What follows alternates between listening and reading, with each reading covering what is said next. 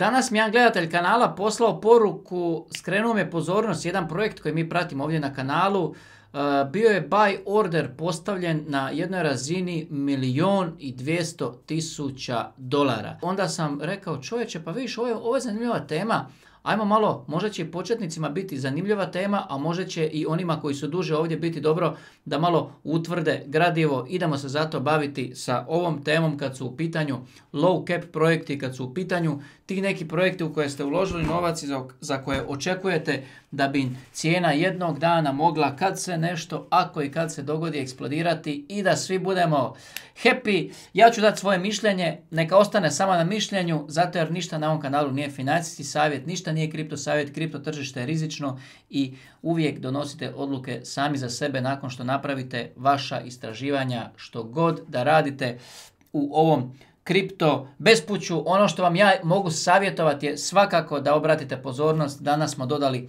13 članaka na kriptoteme.io na naš portal. Eto, trudimo se zaista, bit će nam drago kad uhvatite vremena čisto malo da bacite oko, da vidite što se događa, što se radi, koje to vijesti pratimo i tamo i tako dalje i tako dalje. Uglavnom ima stvarno svašta i vjerujem da ćete i tu pronaći sadržaj koji će vam biti zanimljiv. A sada idemo u kost kako veliki igrači, kako jaki igrači, kako, pa možemo slobodno reći i kitovi, kako manipuliraju sa, sa donošenjem odluka e, da brzo i jako ulaze u neki kripto projekt, početnici, neiskusni, ljudi u kriptu, neiskusni igrači i tako dalje. Ljudi koji su tek krenuli i onda oni zagrizu takve udice.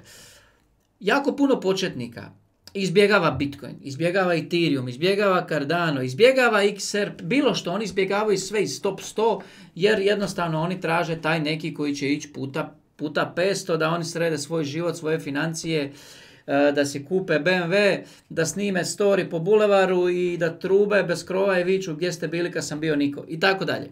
I onda nanjuše taj neki tamo neki projekt, neko nešto napravio, cijena mu je recimo 0,50. Evo, pola dolara je cijena ovom projektu u ovom trenutku i po ovoj cijeni se trguje. I sada taj naš početnik, on misli da će cijena ići gore na, na, na 5 dolara, na 10 dolara i tako dalje. I, ovaj, I on želi investirati, ali još nije odlučio bi, ne bi, bi, ne bi i tako dalje. Uglavnom, on je ovdje i on još nije odlučio bi, ne bi, bi, ne bi.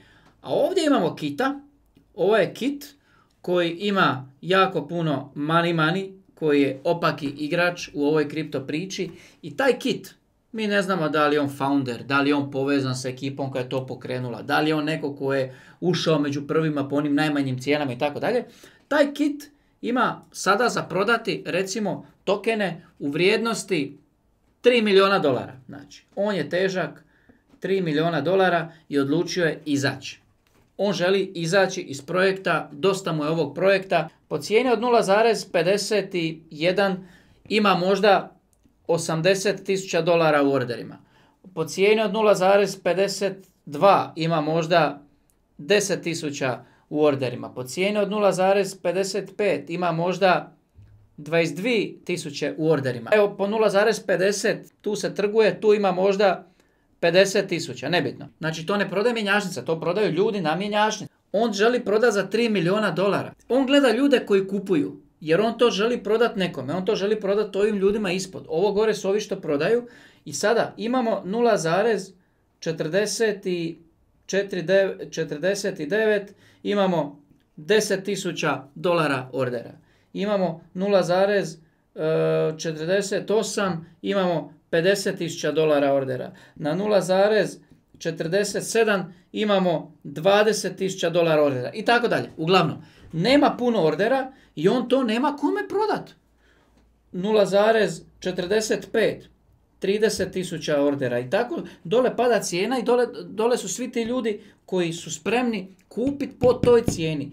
I on, ako klikne market order, Market order je da on jednostavno sve to pomete. Jednostavno njegova cijena neće biti 0,50 nego on će to prodavati 0,40, 0,38, 0,42, ovisi koji orderi su ovaj tu. I njemu se to ne isplati jer on želi prodati po 0,50 ili većoj cijeni. I sad što radi takav jedan jaki igrač na sceni koji želi prodati po puno većoj cijeni? On želi prodati po ovim gore cijenama. On ako ima 3 milijuna dolara u, u tokenima, on je već jak i u USDT-u, on je već, on je kit, on je jaki igrač, on nije all in u kriptu, ima on puno i u fiatu i u USDT-u e, i tako dalje. Što je napravljeno sljedeće? On dolazi i stavlja na 0,48, na 0,48 gdje imamo samo 50 tisuća, on stavlja order da je spreman kupiti taj token po 0,48 za 1 milion i 200 tisuća dolara. I sad mi ovdje imamo order na 0,48 ukupno milion i 250 tisuća dolara. Ovdje već imamo 50 i ovdje milion i 200. Milion i 250 tisuća dolara. I sada on, nakon što je postavio order iz svog novčanika sa, sa svoje mjenjačnice, ovaj, sad je spreman za prodaju. Sad je postavio zamku i sad dolazi ovaj neiskusni, neiskusni lisac, neiskusni igrač, neiskusni sudionik uh, ovoga kripto svijeta i on kaže vidi ovaj order. To je to. Ide gore. Pogledaj, krenuli su svi trpati. Pa nema šanse da, da ide ispod ove cijene 0,48. Pa pogledaj order. Preko milion nešto dolara order tu imamo, a low cap je projekt, znači ovo mora ići gore. I njega hvata euforija i on kreće kupovat po 0.50, po 0.51, 0.52 i tako dalje. On kreće kupovat, on i svi ovi. Kupuju, kupuju, kupuju, a cijena nikako ne raste, cijena i dalje stoji tu. Zašto cijena stoji tu? Pa zato jer im ovaj frajer prodaje ovo. On im prodaje one svoje tokene koje ima 3 milijuna dolara u protuvrijednosti i on ih buši ovdje po svim novim cijenama, oni jadni samo kupuju, kupuju, kupuju, kupuju, ali kupuju od njega.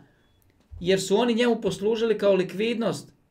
Oni su njemu poslužili kao likvidnost ovdje iznad ove cijene 0.49. Sve gore što se trguje, oni kupuju od njega. Nakon što je on prodao sve svoje tokene, sljedeći korak koji radi je ode na minjačnicu natrag i poništi ovaj order od milijun i dvijesto. Znači, odustane od kupovina ako cijena padne. Nakon što on poništi ovaj order, za njega je priča završena, izmanipulirao je stotine, možda tisuće neiskusnih ljudi u kriptu na low cap projektima koji su se zakačili na taj jedan order i pomislili ovo ide to the moon samo zato jer je neko postavi order.